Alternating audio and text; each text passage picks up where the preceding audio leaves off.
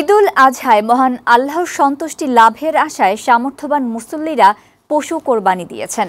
রাজধানীতে পশু জবাই করার পরপরই বর্জ্য অপসারণের কার্যক্রম শুরু করে দুই সিটি কর্পোরেশন। নির্ধারিত সময়ের মধ্যে কাজ সম্পন্ন করার কথা জানিয়েছেন দুই মেয়র। এদিকে বন্দরনগরী চট্টগ্রামে নির্ধারিত সময়ের আগেই বর্জ্য অপসারণ করতে চায় সিটি কর্পোরেশন। সাজাতুর রহমানের প্রতিবেদন। আল্লাহর সন্তুষ্টি লাভের আশায় সামর্থ্য মতো কোরবানি দিয়েছেন ধর্মপ্রাণ মুসলমানরা। রাজধানী পাড়া মহল্লায় কোরবানি হয়েছে লাখ লাখ পশু। তবে স্থান সংকটের কারণে বাড়ির সামনে খোলা জায়গায় ও বিভিন্ন সড়কে পশু কোরবানি দিয়েছেন মুসল্লিরা।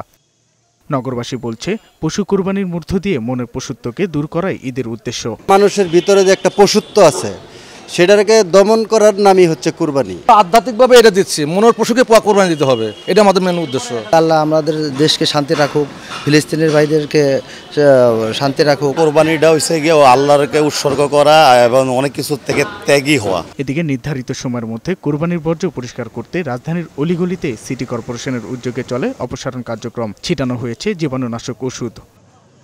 মিরপুরে বর্জ্য অপসারণ কার্যক্রমের উদ্বোধন করেন ঢাকা উত্তর সিটি মেয়র আতিকুল ইসলাম। ঈদের দ্বিতীয় দিনের মধ্যেই পশু কোরবানি সম্পন্ন করার অনুরোধ জানান তিনি।